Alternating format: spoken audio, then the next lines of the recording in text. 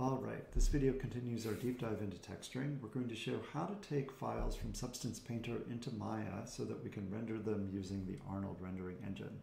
So the workflow here is uh, I started with some geometry from Rhino, uh, shrink wrapping spheres, brought that geometry into Substance Painter um, and applied some materials that I developed in Substance Sampler and now that I've applied the materials, I want to export this so I can render it in, uh, in Maya. So to do this, um, I've got my texture set up here. Um, by default, these are, well, not by default, but I have each texture set set up as a 20 by 48 texture, and which is a 2K texture. And I can change that when we export. Um, it's also important to realize that since this geometry is coming from Rhino, I used Substance Painter to unroll the UV maps. So to remind everyone what that is, if I hit the F1 key, I can see the UV map for this object, and this did not exist prior to Painter. And so it's important that I export not only the textures, but also the model and the unrolled UV information so that that information is accessible in Maya. So how do I do this? If I go back to the model, first I'm going to export the model. File, export mesh. I don't want to apply the, trip, uh, the triangulation and I don't want to apply the displacement because the displacement will happen in Maya. And I don't want to apply the triangulation because um, I have a nice quad model here and I can continue giving it subdivisions in Maya with Arnold and that's going to work better if I don't have triangles. So I'm going to export this. I will put this on my desktop. Maybe I'll make a new folder. Let's see, new folder. Um, substance painter tutorial. So I'll use this folder and lab for painter file, that's fine. Um, hit save. And we've exported our mesh. Oh, I should point out, export mesh, export. We are using the FBX file type, not OBJ. And I think this will just make it easier for our UV maps to be packaged into one file. So we are using the FBX format here. Next, we need to export our textures. So I'm going to, under Export Mesh, find Export Textures. And let's look at this window. I'm going to choose both textures. That's great. And um, I'm going to use the Arnold template. So whatever this is by default, since I'm taking this into Maya, I'm going to use the Arnold AI standard template and the file type PNG, that's fine. Um, this can be 8 bits or um, 16 bits, that's fine. And I'm actually going to up the texture size to 40, to, uh, 40 by 96. So this will give us a very high resolution texture. And um, by choosing the Arnold standard texture setting, output template, it's going to ensure that we have all of the maps that Arnold needs. I'm going to change the export location to, let's see, the desktop Substance Painter tutorial. So I'm going to select that as my folder. And um, now I'm going to hit save. I'm just going to hit export.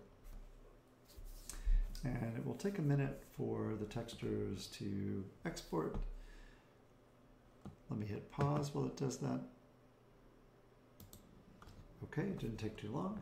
And now we can see that all of our textures have been exported successfully. All right, so now let's look at that folder. So I'm going to pull it up and grab my desktop and the Painter tutorial, and let's see what we have in here we have our um, FBX mesh, and then we have our two textures. Each one was assigned to an object. And if we can look here and see all of the cool channels that uh, are made. So this is the color channel, and um, all of these other wild artifacts here are just, um, it's just bleeding the color at the edge of the unrolled map so that the uh, texture gets applied seamlessly. We can see here the height map. Um, you can see the metalness. There is no metalness here. And the normal, so the normals add um, extra um, extra texture information, and the um, which is not related to displacement, but gives the illusion of bump. So it's kind of like bump mapping. And then we have our roughness channel here, and then we have the same uh, channels for the other texture. So now let's jump into Maya and apply these things. So do I have Maya open? No, so I'm going to open that. And okay, here we are in Maya. File, import. Let's find import. Let's bring from our desktop the FBX. Oops, I'm in the wrong folder. Let's bring in this FBX file, import hit F to, to find the object. So here is our geometry. And let me go ahead and put the sky dome on a background. All right, so now I have these guys. Let's just double check that our UVs look like they're matching. So I can come up to the top here, look at the UV editor, pull it over, and I can see in fact that this looks like our map in Painter. So everything should work nicely. And now I need to bring in the materials. And we should have, if you on in Maya 25, uh, 2025 and up, have a substance import node. Um, if you don't see this, you can turn on the plugin and we'll have this um, file menu here. And then you should also have a shelf that says substance. If you do not see this, you can go to Windows, Settings Preferences, and the Plugin Manager, and then search for Substance, and load, and then auto load, and hit refresh, and now if you select auto load, this should always load with Maya. All right, so once you've got the plugin available, for this particular workflow, where we've, uh, we're bringing in a mesh from Painter, and we've applied materials to it and we've made a um, basically we what we need to do is make a custom shader that has that material map and we will apply it to our mesh. And we can do that with this icon here apply workflow to maps and also you can get it from the drop down here apply workflow to maps. So let's go ahead and click that. Apply workflow to maps and we are going to start by bringing in our first material and our, we'll select multiple maps. And then, um, right, we're here in the Substance Painter tutorial file, and we want to select all of the maps that have material one. So we'll select all of these, hit select. We can see that all of these pop into the channels that we're interested in, and we can hit apply. Now we can open the Hypershade and if we look in the shading groups, this will be the easiest place to find it. Is stuck for a moment. Let me hit pause. Oh, now it's back. Um, we can see here that we have a new texture called set one. And I'm going to bring this down in. And so again, I'm in the shading group. I find set one and it doesn't look very impressive, but I can now hit show input and output connections here and it shows the whole network. For some reason, at least in the version of the plugin that I'm using, it links up everything correctly, but it does not link up the, um, the base color. So to complete this texture import, we need to go ahead and grab the out color here and stick it into our base color. And um, let's change our set one to um, a new name and we'll call it set one we're going to call this um, substance, or let's say sub underscore mat1. And that way, when we bring in the next one, it will be very easy to find. All right, I'm now going to apply this texture to our model. And let me just close the hypershade for a moment and hit render and see what we get. Okay, great. This is looking good. Um, so it seems to be matching exactly what we have in Painter. Uh, I'm getting a little warning down here, so let's check that out. It says the padding is smaller than it needs to be, the recommendation, recommended padding, so this has to do with displacement.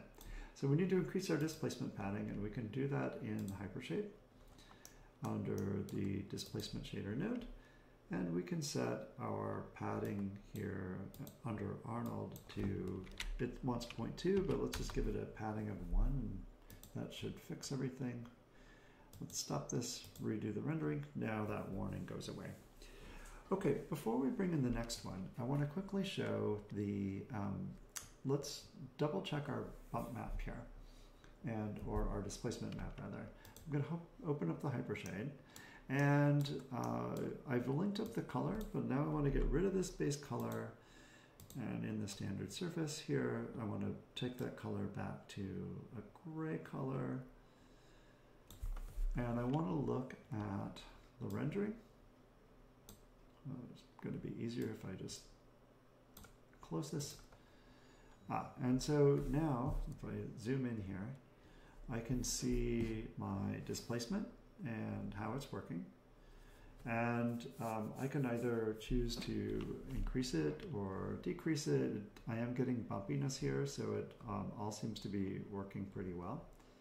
We can look also at the um, bump 2D. So we do have this bump 2D uh, and the bump mapping is also producing some of the illusion of shading here.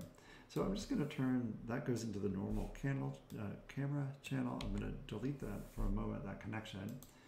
And let's see if that makes a big difference here. Doesn't seem to be changing things that much. So looks like, well, let's go to render and just to double check, update full scenes. If things ever don't match what you're expecting, you can always click update full scene. Okay, and it looks about the same. So I'm gonna just plug this back into here. And then we could look at our material height. Um, our displacement here is set to one. And we could, if we, just to make sure this is all working the way that we think it is, we could take this down to zero. And let's look and see what that gives us.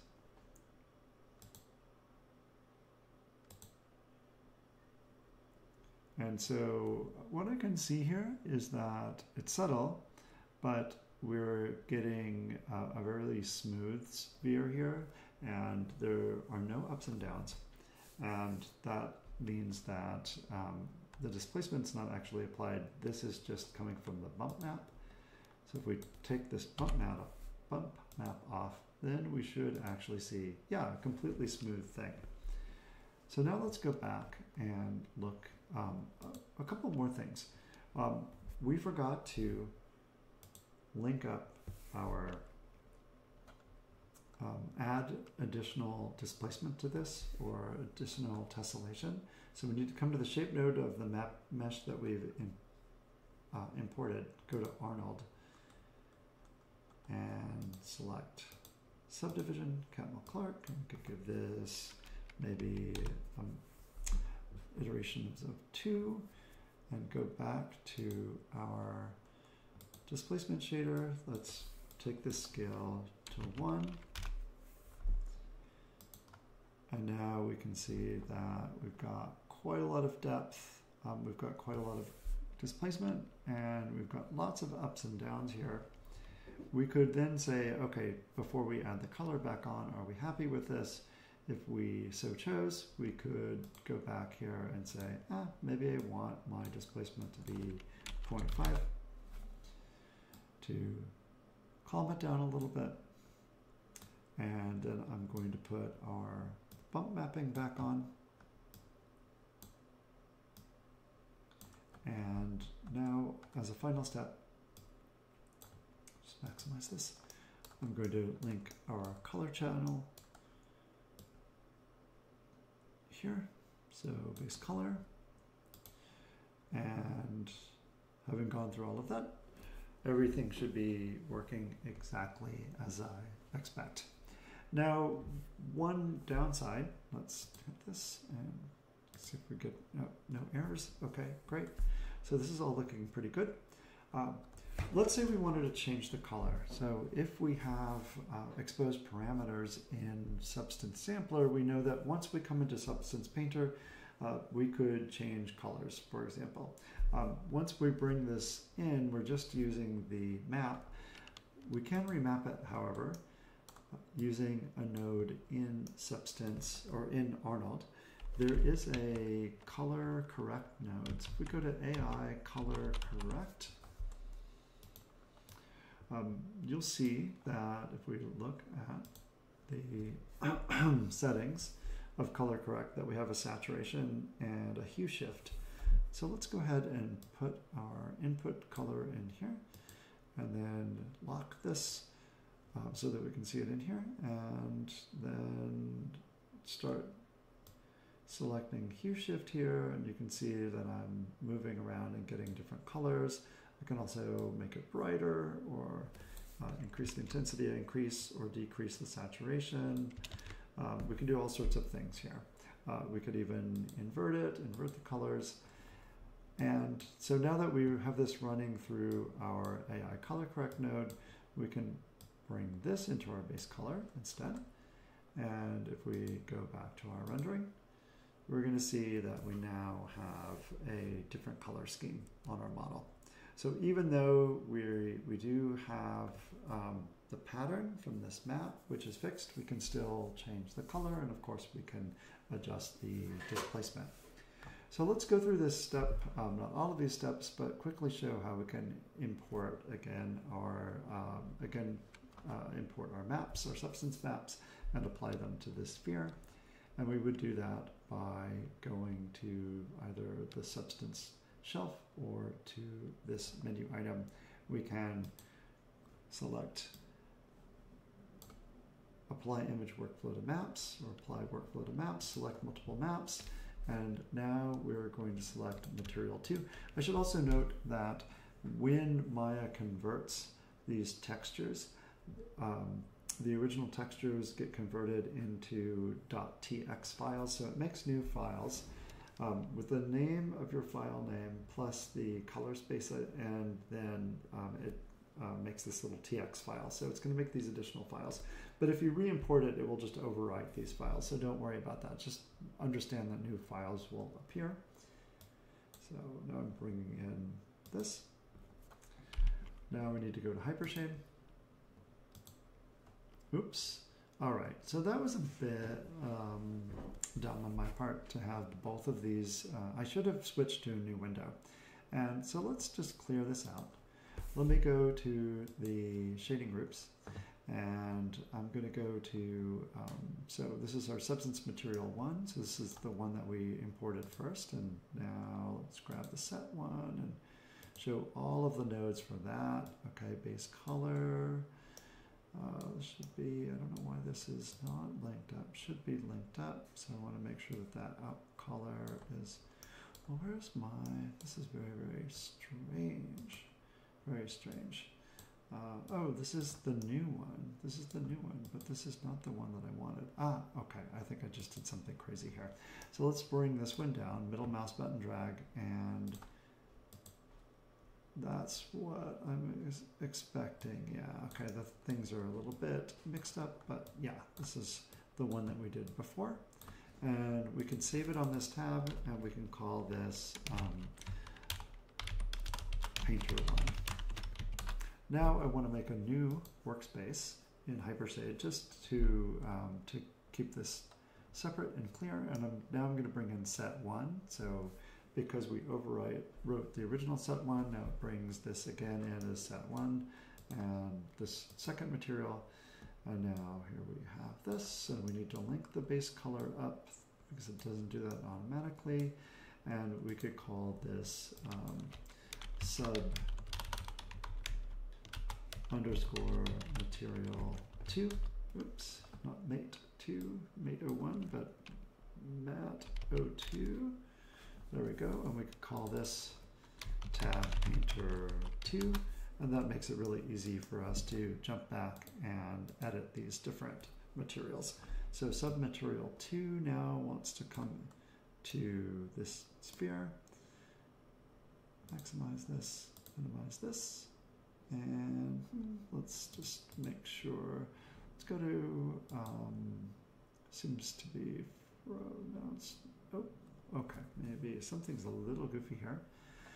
Me go back into material editor here. Did I accidentally apply it to both? So standard surface one, shader one, color. Where am I here? So this is painter one, sub material one. That's good. And I want to bring that over. And does that? Yeah, and that fixes it. Okay, great. So now I can close this, and now I can see that I have that second material popping in there. And then I could um, I could also add a hue shift to this or a color correct rather, and then I could shift the hue or change things about that color if I didn't like it. But um, we're not going to do that because we are finished and this shows how you can bring in your Substance Painter files and link them up very easily in Arnold. Thanks for watching.